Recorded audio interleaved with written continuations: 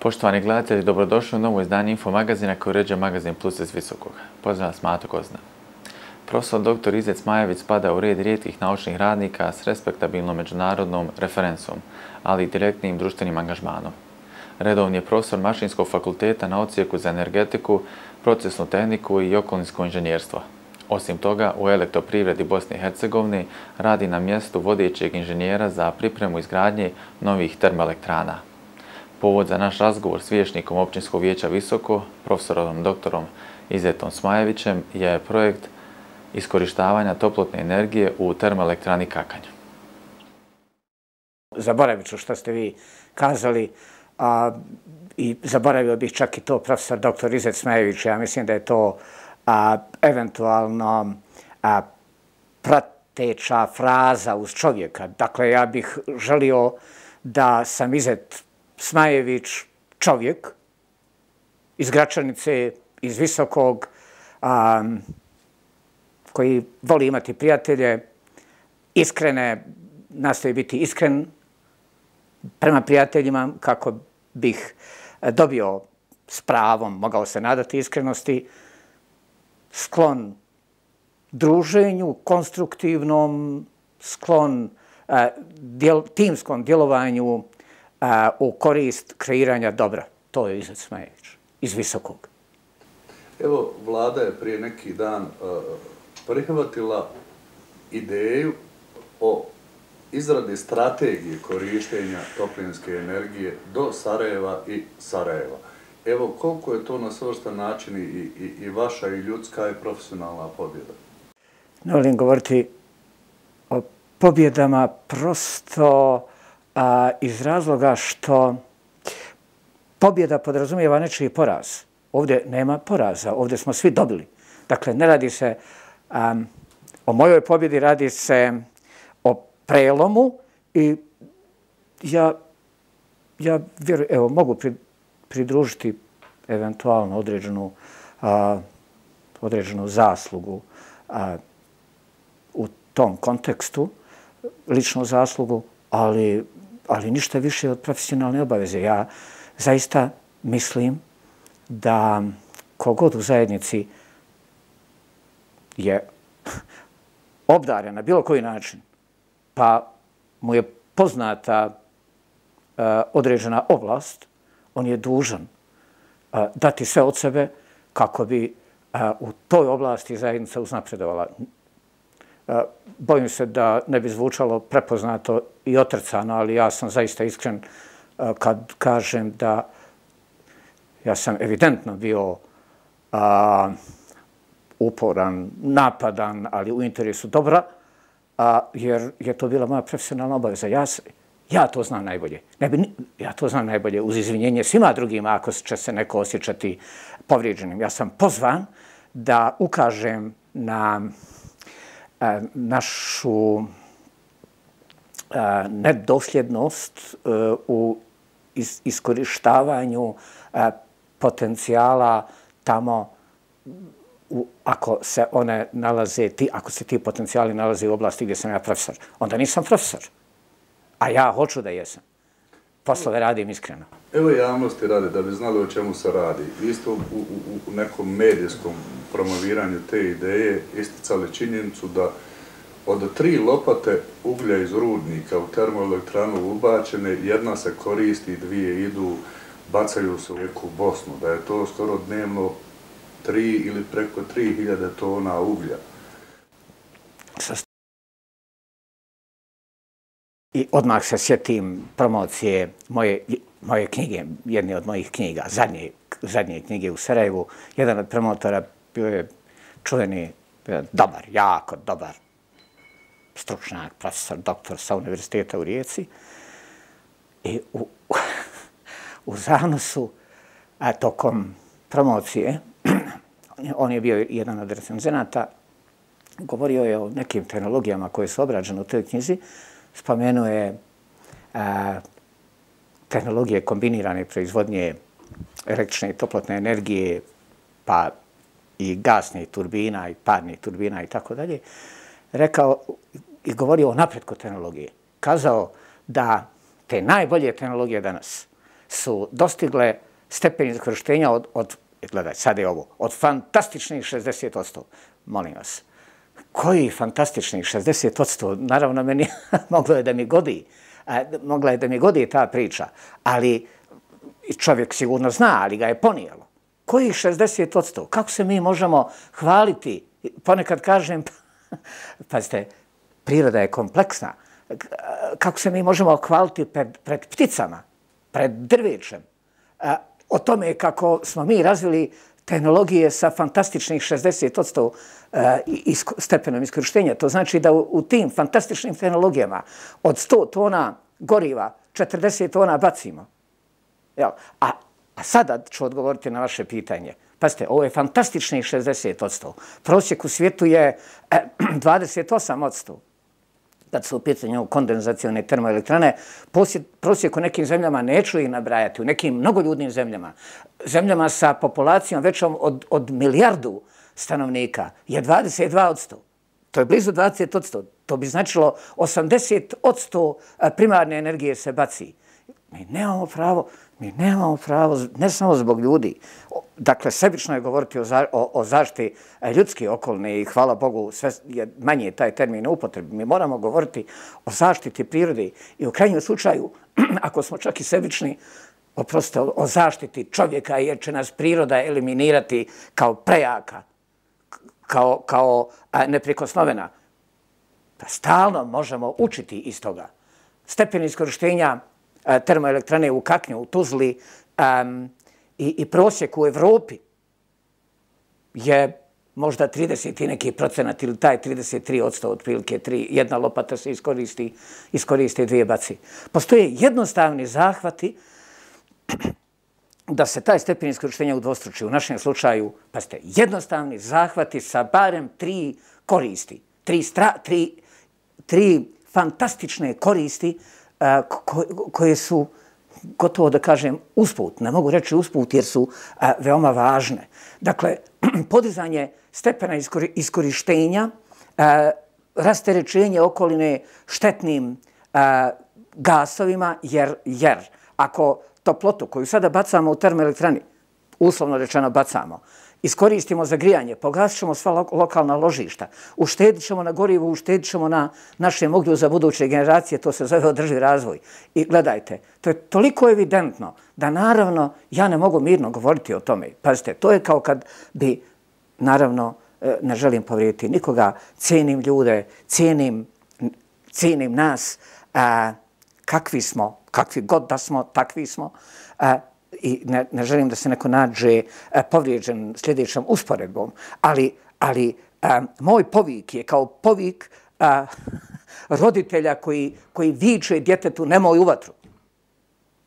Odakle, odakle ovaj, možda ponekad a, i evo, na, napadan govor sa moje strane, ali naravno uvijek a, sa ciljem da se pokaže gori nam vatra, a može da ne gori, jel?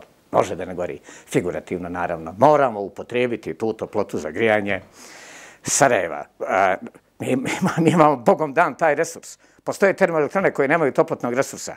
One nemaju tu šansu. Mi imamo, ne iskorištavamo je i plaćamo gas. To, to je taj, ta treća korist. A, dakle, ušteda na razini uvoz-izvoz. Mi bacamo i plaćamo skupi gas iz Rusije. Rusima želim svako dobro.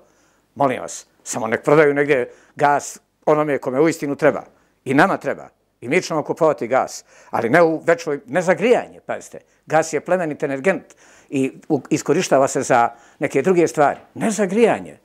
Taman, jel, kad već imamo domaći resurs, nadam se da, možda sam ponovio koji put a, neku argumentaciju, ali evo, ponesen potrebom da to uradimo. Na kraju, A, pomenuli ste da je vlada usvojila, a, dakle, a, zapravo dala nalog elektroprivrede i Zavodu za zaštu okoliša Federacije Bosne i Hercegovine da se konačno uradi ta studija ek, okolinske održivosti u, za realizaciju ovoga projekta, naravno i ekonomske, a, bez ustezanja to je zahvaljujući mom angažmanu, naravno, zahvaljujući i iznad. Dakle, inicijalna kapisla a, je bil, bila odluka a, općinskog vijeća u Visokom da se pokrene, dakle, da se institucionalno pokrene taj projekat a, bio,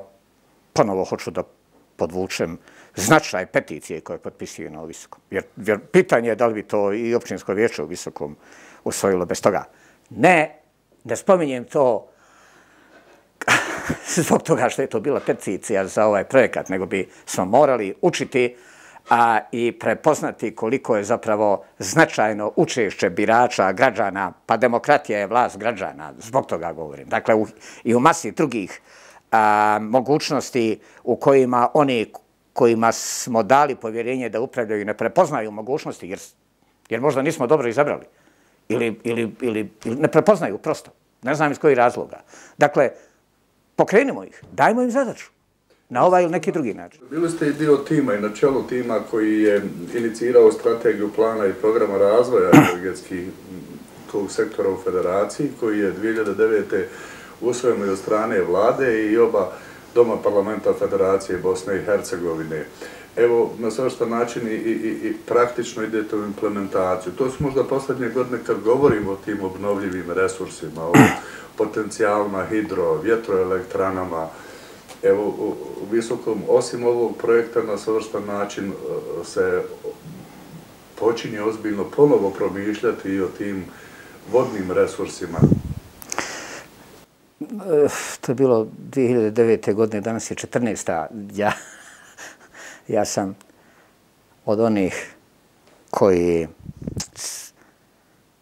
su opredjeljeni da put osvjetljavaju fenjerom koji nose danas, ne fenjerom koji je sijao 2009. godine. Na, zbog toga, eto, to nisam pomenuo.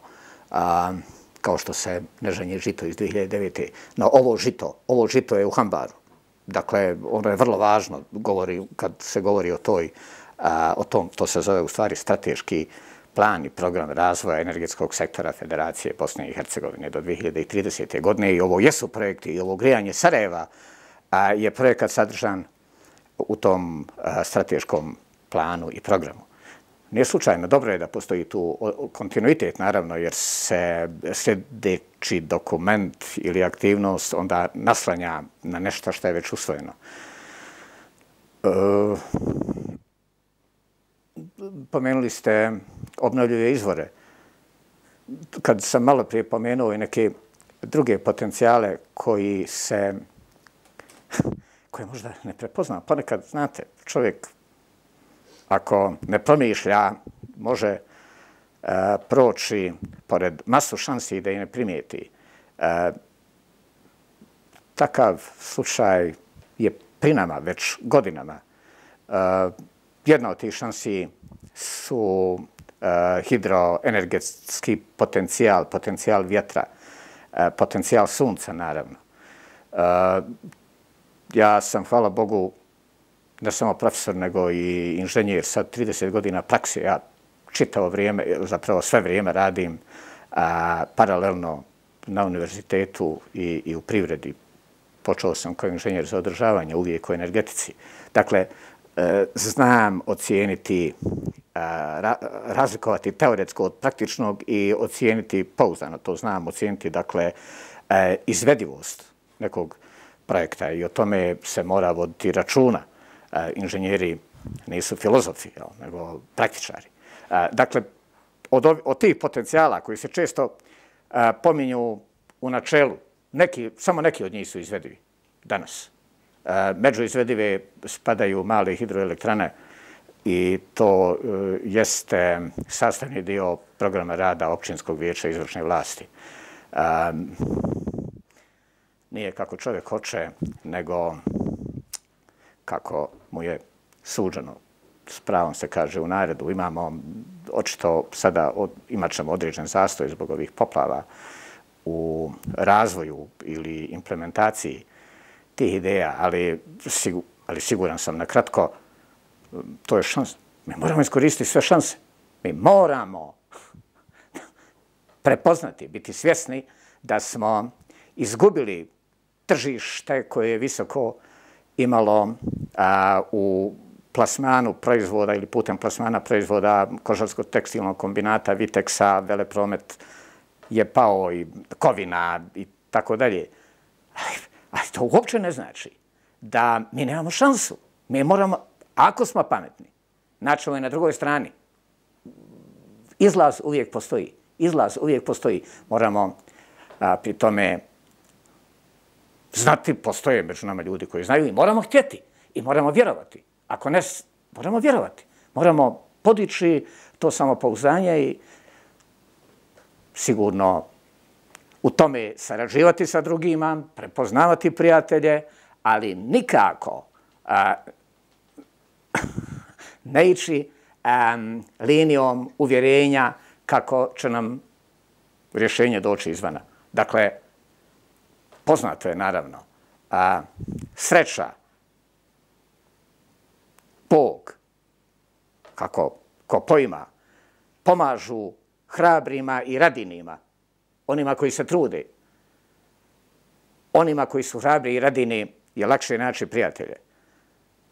Moramo pokazati da zavređujemo prijateljstvo razvijenih, snažnih, radinih, misliših. Moramo biti takvi. Ljudi, slični ljudi se druže međusobno. Ako ne budemo takvi, družimo se sa nekim drugima koji eventualno su manje radini, manje misliči i tako dalje. Mi to nećemo. Mi, mi smo sigurno narod koji se e, može osloniti s pravom i ponosom na svoju tradiciju. I u visokom, naravno. Intelektualci poput vas e, su poprilično skeptici kad je riječ o političkom angažmanu. Vi ste se odvažili na jedan takav korak. Evo i vaše političko iskustvo, ali evo i, i, i ovaj prvenstveno profesionalni uh, poziv. Uh, koliko danas politika prepoznaje resurse? Evo, godinama slušamo te neslučene resurse Bosne i Hercegovine u njenim prirodnim bogatstvima, Međutim, uvijek te ideje dobro, dobro, dobro idu dok ne dođu do onog što, što, što danas držimo pod pojmom politike. A, gledajte, ja sam u razgovoru, ovaj, evo i s vama u skafu, a, rekao nešto što ja mislim da mene razlikuje od drugih a, pa evo ako ste me vi ubrojali u grupu intelektualaca, onda drugih intelektualaca, a, i ovo govorim ne, ne kao pohvalu, nego kao, a, neš, kao činjenicu koja je u meni, dakle ja prosto sastavni dio mene. A, ja, za razliku a, od nekih koji znaju i povlači se, povlače se, ja ih potpuno razumijem, ne htijući da učestvuju a, u političkim zbivanjima koja, je, koja na ovim prostorima danas zaista jesu takva, ta politička zbivanja, da ih se ima razloga pa i smisla kloniti. Ono što mene razlikuje od tih što promišljaju, što ne pristaju a, na modele koji su prisutni danas u politici e, i moje je, i, i oni se ne slažu sa tim modelima, zato se i povlači. Ali ja ne samo da se ne slažem, ja ne pristajem na takve modele, ja, ja hoću da se borim. Da, ali to je sastavni dio mene. Jer ja mislim i zamjeram tim drugim što se ne bori. Jer je zadača onih koji znaju, dakle, odgovorni su oni koji znaju, kako god hoćete. Hm? Pa neka razmišljaju oni koji znaju. Pozvani smo. Više puta. Dakle, odgovorni su oni koji znaju. I moraju se uključiti. Evo, ja slijedim, ja, ja tako razumijem. I zato sam unutra. Ne zato, dakle, mene to košta. Ja bih mogao imati više komfora, naravno, da se, da, da se ustegnem od toga. Ali manje mira. Manje duševnog mira. Jer se osjećam obaveznim biti tamo. A, dakle, kad su u pitanju ljudski resursi, Političari, nažalost, ne samo da ih ne prepoznaju, moguće čak da ih prepoznaju, ali bježe od njih, jer su im konkurencija, jer im ne trebaju. Takve političare biramo. Dakle, ljudski resursi Moje mišljenje. A, nemaju pravo čekati da budu prepoznati. Ja sam jedno vrijeme čekao. Ja sam, za, ja sam jedno vrijeme čekao. Ja sam za, o sebi govorio, ja sam određen šaraf, pa trebalo bi da znaju gdje taj šaraf paše, pa neka me upotrijebi. Oni neće. I neće. Iz razloga koji ja sada ne bih komentirao, koji su, vjerujem, opće poznati. Onda se treba nametnuti jer nas se tiče. Jer nas se tiče. Eto, a, stoga, sam, stoga sam unutra. Dakle, ljudske, ljudske resurse oni moguće i prepoznaju, ali i guraju jer u njima vide konkurenciju. Nažalost, ja sam sada konačno i definitivno ubijeđen da većina tih političara radi za platu. Ja to ne radim za platu. Ja to zaista ne radim za platu. Ko da bi ja za platu bio u općinskom vijeću. Kako savladavate prije svega vlastita promišljanja kada evo sjedite kao prije neki dan od 3 do 12 na večer, a da vjerujem da ste uvjereni da sve što se trebalo tu i taj dan riješiti se moglo uraditi za jedan sat vremena. Evo negdje pokušavali ste i putem medija apelirati na građane da vam se mogu uvijek obratiti, inicirati, pokrenuti. Znači, evo, krenuli ste u tom političkom smislu negdje, što bi se reklo, od po abecedi rada. E, da li ste danas, evo, i dalje negdje uvjereni da ćete istrajati ili ste možda već padali u dileme uh, tipa, ma što mi ovo sve treba? Ne, nisam, ne, nisam padao u dileme, ja sam vrlo strpljiv u redovima, u čekanjima, zato što se unaprijed naoružam strpljenjem. Ja znam šta me čeka. Dakle, uopće nisam izgubio ovaj, strp, nerve, što bismo rekli, jer se naoružan strpljenjem. Ja tamo dođem naoružan strpljenjem, spreman na sve događaje u, u tom općinskom vijeću. Ja iskren da budem uh, od, uh, u općinskom vijeću i ne, ne očekujem a, briljantne istupe. No? Briljantne istupe. Očekujem smislene istupe, ali pa i ne moraju, ne, ne je baš zaočekivati da na nivou općinskog vijeća imamo briljantne političke istupe. Neću reći da on ne trebaju. Dobro su došli ako ih ima. Ali mi, nažalost, nemamo briljantne istupe nigdje. I to je problem. A, u općinskom vijeću ima jedna uputa koju sam davno pročitao ovaj, u, u Đulistanu. U Đulistanu, ona je puna poučnih priča. Jedna govori, ne, ne ti uči da iz sebe i, i na koji način ovaj, povežem sa, sa subjektom ove priče. Dakle, u, u, u carstvu persijskom u neko doba bio se istako čuven ministar, smatrali su ga jako pametnim, slušali ga i tako dalje. I onda pri raspravi o nekom važnom pitanju taj ministar ne progovori ni riječ. I završi se ta rasprava. Naravno i uh, šah je bio prisutan.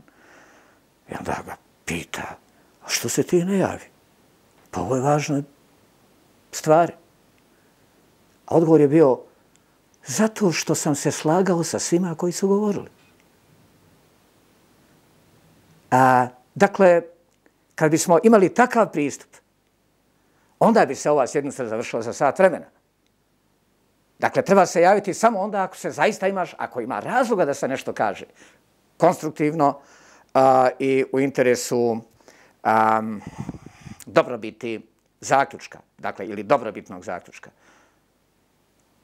Neću da opisujem a, atmosferu a, na sjednicama vijeća zato što su te sjednice javne, prenose se i a, evidentno je da ta atmosfera nije uvijek konstruktivna. Pritom je bih volio da oni koji uzimaju vrijeme tamo razumiju da svaka minuta koju neko uzme nepotrebno se množi sa brojem prisutnih. Pa ako ih je 60, a ponekada jeste, onda svaka zalud uzeta minuta, znači dva sata društveno korisnog vremena, izgubljeno, svaka minuta. Mi gubimo dane, na svakoj sjednici gubimo dane. A, no, Ako je to cijena, da u konačnom dođemo do dobrih zaključaka, evo, možda ima smisla platiti tu cijenu. Iza nas je jedna elementarna nepogoda koju evo ne pamte ni, ni literatura, ni, ni živi u zadnjih 120 godina. E, šta lično očekujete možda u, u, smislu očekivanja novih e, e, mogućnosti u kontekstu ove nesreće koja je možda mogla biti nekako, evo sada resetovanje, da odustanemo od tih nekih teških industrija, da se vratimo evo obnovljivim prirodnim resursima u smislu i energenata, ali u smislu i evo zdrave organske hrane i tako. Da, da, da li evo ima možda negdje, da li u, u političkim partijama, u, u ljudima, prepoznajete negdje možda tu spremnost ili da li ima šanse da, da, da evo Bosna možda počne graditi politiku na onom što možda jes njen, e, njena posebnost u odnosu na evropsku zajednicu i ostatak svijeta. Evo da smo i u vodenim resursima, uh, E, po mojim informacijama, čeli četvrti u Evropi ili sedmi u svijetu, Evo vjetroelektrane već pokazuju svoje resurse, evo ovo prirodno blago, zdravo zemljište i tlo, koje je vjerovatno za evropske standarde je organsko. Da li u tom pravcu negdje vidite? Gledajte, naravno, e, to još jednom potvrđuje da mi prolazimo pored šansi, a ne vidimo ih. Ne kolektivno. Pored šansi prolaze oni kojima smo dali da upravljaju, kojima smo ne samo dali, nego i zadužili prolaze i ne vidi ih. Ili, ih, ili neće da ih vidi. Ja u zadnje doba a, sve, sa sve manje snage odbijam mogućnost da su političari nepočudni. Ja sam, dakle, u, u početku nisam mogao da vjerujem. Ja sam nekada polazio od toga a, da su svi ljekari humanisti, da su svi vojnici patriote i svi političari pametni i moralni. Možda ni u razvijenim zemljama svijeta se ne može to generalizirati na takav način. Ali kod nas u pojedinim segmentima ovoga što sam rekao odstupamo do zabrinjavajuće mjeri. Do zabrinjavajuće mjeri do mjere koja zove na uzbunu. I mi takvih uzbuna imamo. Ali ja, ne, ja nisam pesimista. Ja, da ja sam, odustao bih. Uopće nisam. Ja sam siguran, i o tome smo također razgovarali e, nezvanično, da život pobjeđuje. Život će pobjediti. U ovoj Bosni će se, e, će doći do preokreta. Sigurno jer je dolazilo i ranije do preokreta. Postoji, postoje, naravno, a, poznati historijski trenuci kada je kod velikih nacija dolazilo do pozitivne preokreta i velike nacije su a, tonule pa se dizale naglo, neočekivano u, u, u historijskim a, promatranjima.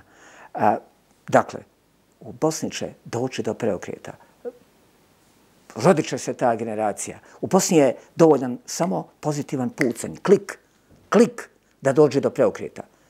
A taj klik će se dogoditi. Ja ga, ja ga stalno očekujem. Ja ga, ja ga, ja, kad, ga, kad kažem stalno, to ne znači u narednih, ne do Bog, 50 godina. Ja ga očekujem najduže u narednih 10 godina. Možda u naredne dvije godine. Ja sam ga očekivao nedavno. Dakle, klik. Šta je klik?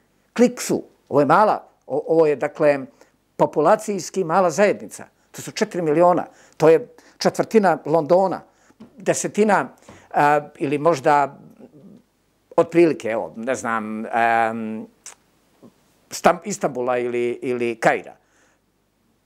Pa može voditi četvrtina gradonačelnika dobrog. Doći će jedan dobar, jedan dobar i trojica pametnih na čelo. I to je kraj. Jer će oni napraviti strukturu, e, odgovarajuću strukturu u, vlaz, u vladi i onda će se stvari poredati. Dakle, evo, očekujem jednog dobrog i trojicu pametnih, možda na narednim izborima. I sve je u rukama birača. Dakle, bojim se da ljudi ne prepoznaju koliko su su odgovorni za koliko smo svi zajedno su odgovorni za ovo što nam se događa. Evo ja nastojim ispuniti svoju zadaću. Koliko god mogu, činim, zadovoljan sam time koliko je, u kojoj meri ispunjavam tu moju zadaću.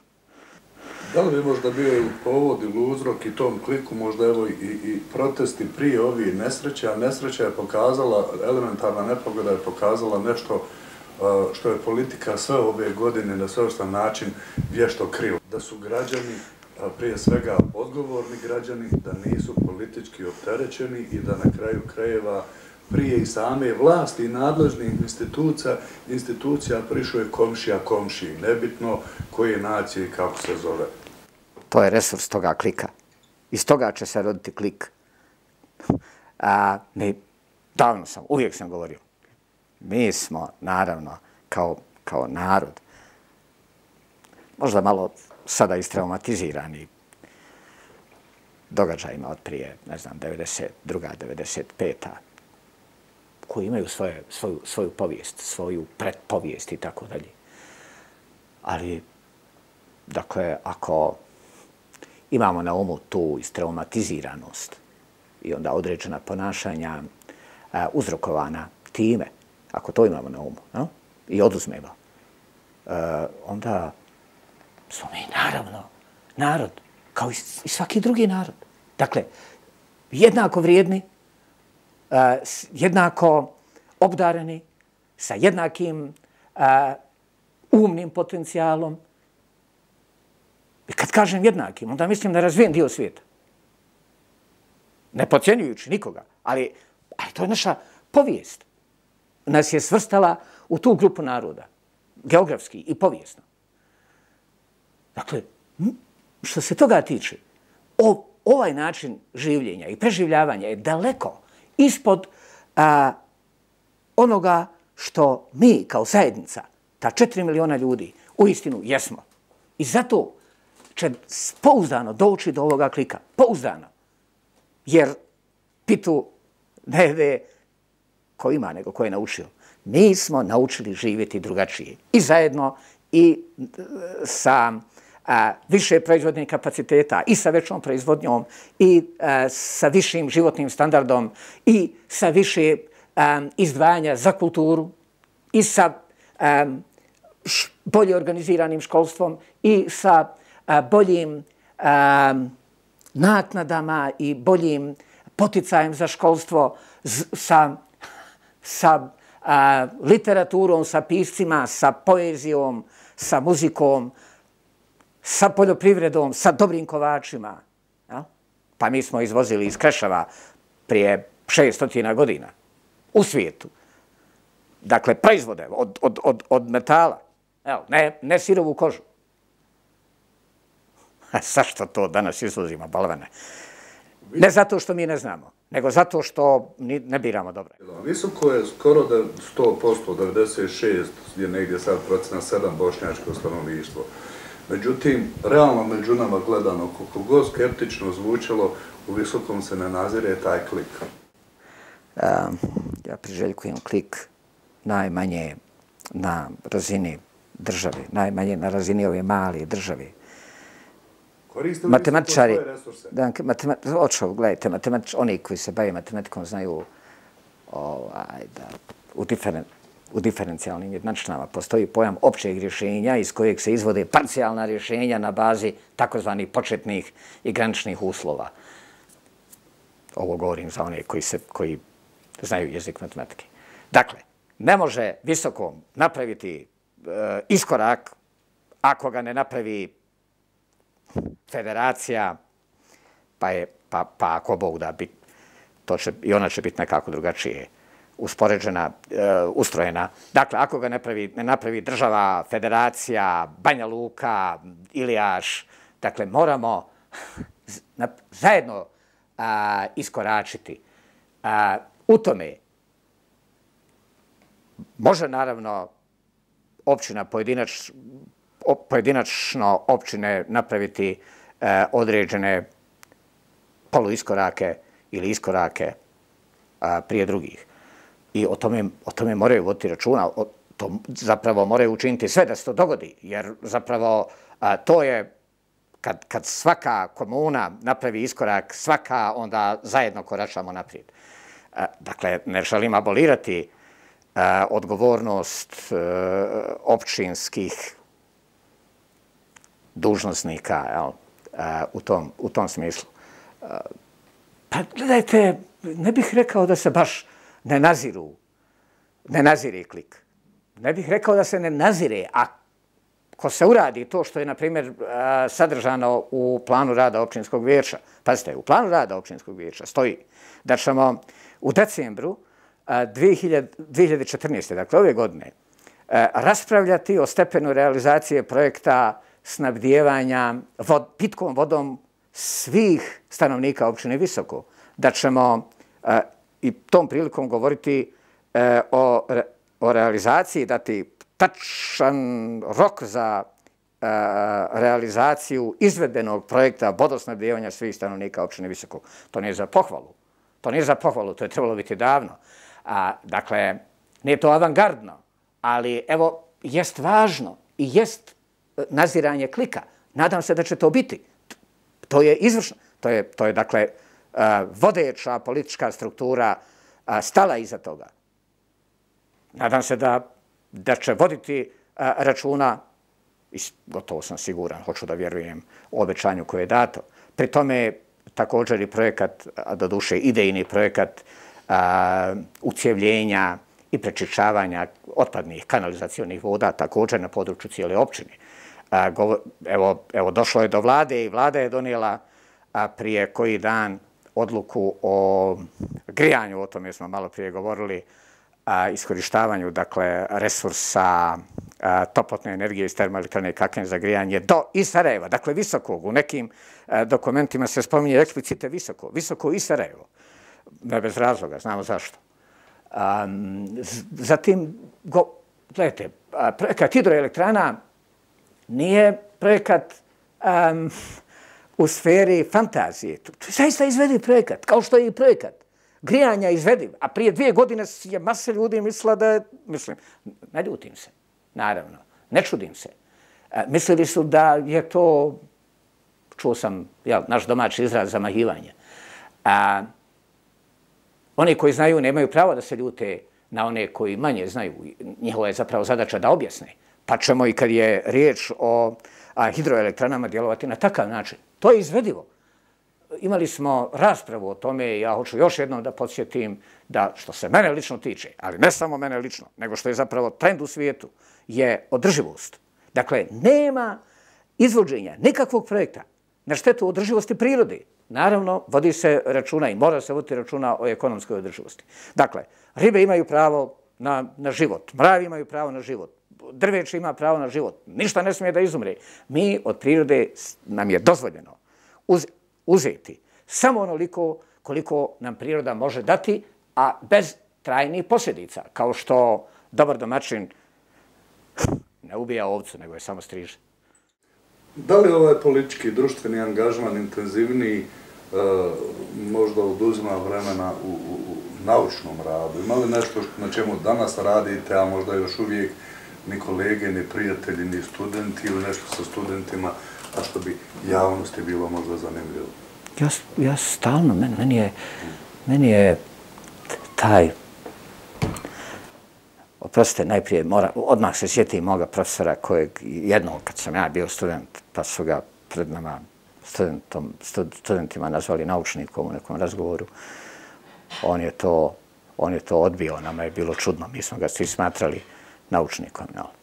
On je rekao za sebe da je istraživač ja ga razumijem, nauka je velika stvar, dakle, biti naučnik je uh, takvih, jel, takvih razmjera da čovjek sebi uh, ne smije sam sebi govoriti da je naučnik. Eh, to sam naučio u razgovoru s nekim ljudima koji, sebi, koji o sebi nikad, na primjer, ne govore kao o dervišima, recimo.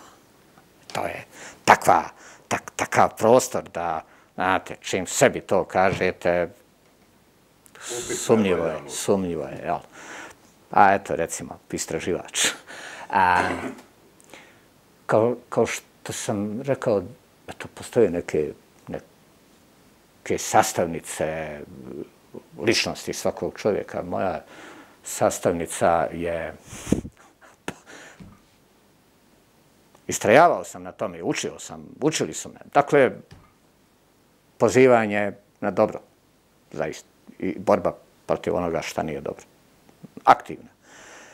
I radoznalost. Ja, dakle, ja, pa ste, ja sam, ja, ja, ja nisam osobenjak u porodici, dru, družimo se, imam i to sa zadovoljstvom, ali se najbolje osjećam sa knjigom. U istinu. Dakle, sa knjigom. Ja kad, meni je problem u, u kafani, zato mene nema u kafanama. Meni je tamo problem. Ja sjedim sa društvom i zaista, stalno mi je u podsvijesti a, misao, Bože, kad bi me, kad bi ja sad imao knjigu da ja ovo čitam. Zato što me često, znate, neke stvari me ne zanimaju. Ne, ne zanima me, ne znam ko je juče nešto kupio, ko je, gdje su dobri čevapi, ne znam. Šta ja znam, raspitam se gdje su dobri i to je to, jel, jedem i idem kući. Uvijek je, ja, mi, ja kad odem negdje jesti, samo jedemo sa kad odemo jel, sa suprugom, onda jedemo i odmah idemo kući, zato što ne znam više šta ću raditi. E, dobro, dakle, a, ništa ne, ne, ne zaostaje kad je u pitanju to istraživanje, zato što to mene, to meni je teret, to je, to je kao, ne, kao muzičar kad voli muziku, pa, pa mu ništa nije teret, jel? Ja, dakle, vodim sada četiri doktorska rada, psa, bez tereta. Znate, I to je dobro, onda, onda vi, onda vi, a, inspirišete doktorante, oni inspirišu vas. To, to je onda društvo koje se nosi a, međusobno. Objavljujem rado, evo sada sam dobio informaciju da je prihvaćen rad, evo sada da se ne trudim da ga da citiram naslov, nema veze. Dakle, u časopisu će se objaviti koji se vodi kao indeksiran časopis. Stalno pratim ovo broj citata i tako dalje. Gledajte, ja bih, ja, ja, ono što je još ispred mene, to je Akademija nauka, ja, ja nastojim da steknem uslove za Akademiju nauka.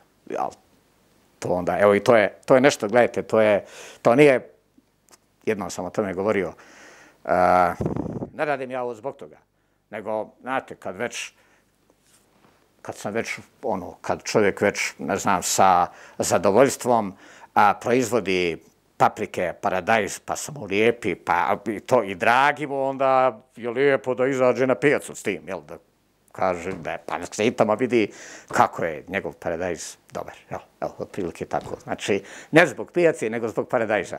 Ne zbog, ne znam, daljnjeg napredovanja, nego i uvijek je to tako bilo. Dakle, meni je uvijek napredovanje bi, a, bila posljedica. I za svega ovo, negdje u nekoj ratnoj, poratnoj arhivi, Igrom slučaja sam naišao na neki literarni rad potpisan sa Izec Majević. Mm -hmm.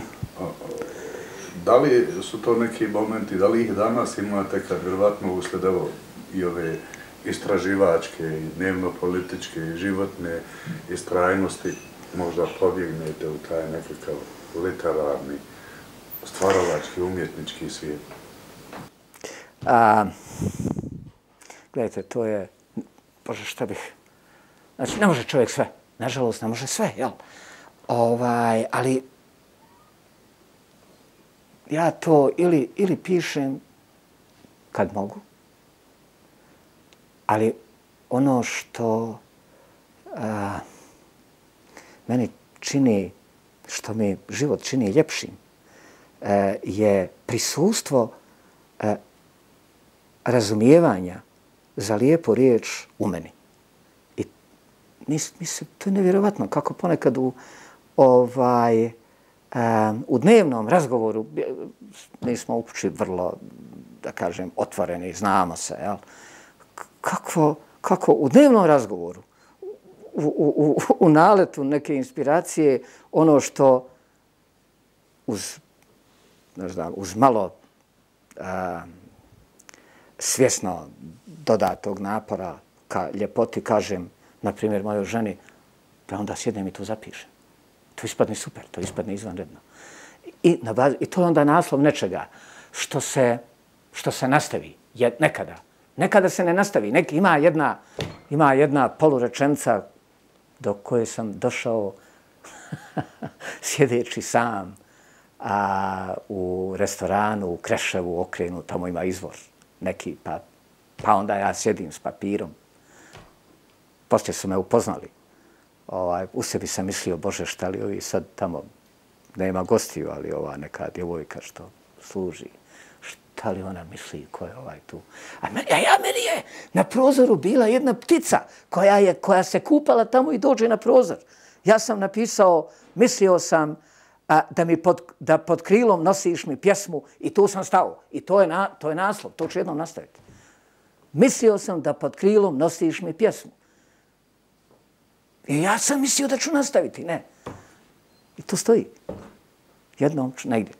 Tako sam jednom na, Prokoškom jezeru napisao divnu pjesmu o tome kako, ne znam, oblaci su bili, sjenke, bilo je izvanredno.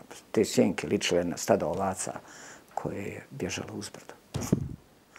Dakle, ne, naravno, eto, pitali ste me, e, ne bih htio da se ovo protumači kako drugačije, osim kao osjećaj za lijepu riječ.